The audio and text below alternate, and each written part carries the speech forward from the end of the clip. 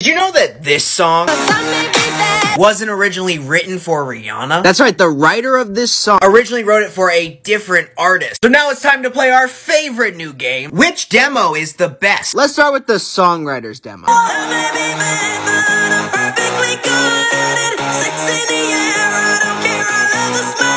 Fun fact. Ester Dean's vocals can actually be found in Rihanna's final version. Now it's time to hear Rihanna's version.